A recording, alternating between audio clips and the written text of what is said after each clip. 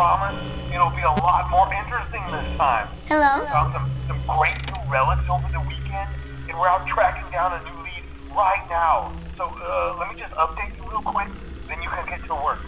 Like, the attraction opens in like a week, so we have to make sure everything works and nothing catches on fire. Uh, when the place opens, people will come in at the opposite end of the building and work their way toward you, then past you, and out the exit. Uh, yeah, you've officially become part of the attraction.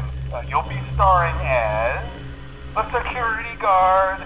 So not only will you be monitoring the people on the camera as they pass through, you know, to make sure no one steals anything or makes out in the corner, but you'll also be a part of the show. It'll make it feel really authentic, I think. Uh, now let me tell you about what's new. We found another set of drawings, always nice, and a Foxy head, which we think could be authentic. Then again, it might just be another crappy cosplay. And we found a desk fan, very old school, metal though. So watch the fingers. Uh, uh, right now the place is basically just, you know, flashing lights and spooky props. Uh, I honestly thought we'd have more by now. Uh, we don't have something really cool by next week, so we may have to suit you up in a furry suit and make you walk around saying, boo. uh, but, you know, like I said, we're trying to track down a good lead right now. Uh, some guy who helped design one of the buildings says it was like an extra room that got boarded up or something like that. So we're going to take a peek and see what we can find.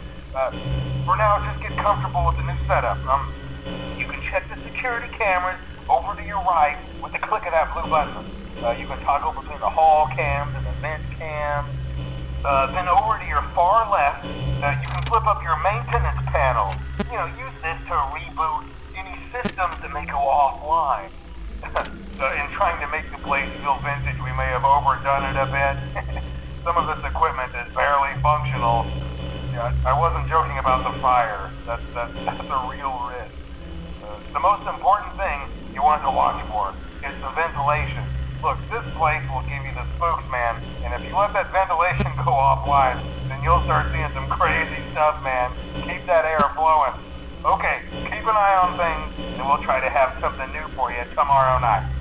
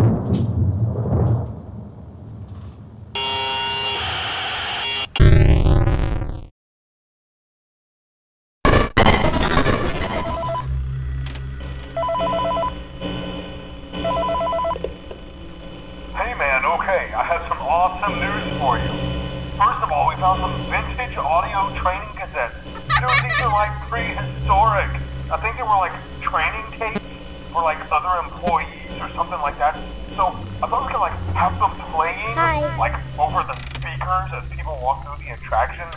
Dude, that makes us feel legit, man. But I had an even better surprise for you.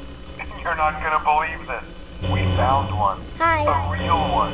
Uh, uh, uh, gotta go, man. Uh, well, well look, it, it's in there somewhere. I'm, I'm sure you'll see it. Okay, I'll leave you with some of this great audio that I found. Talk to you later, man.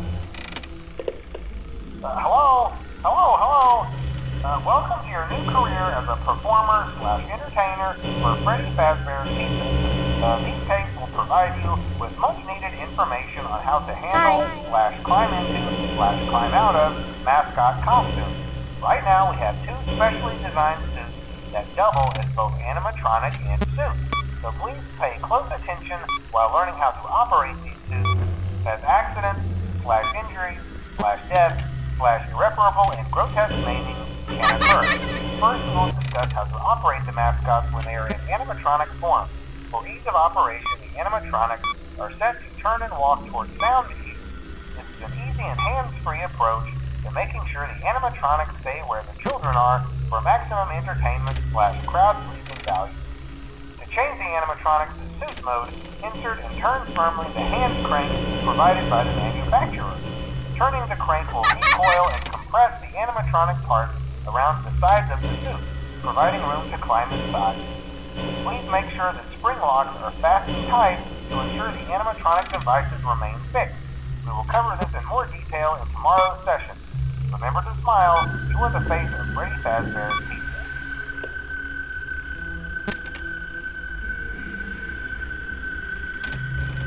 Hi.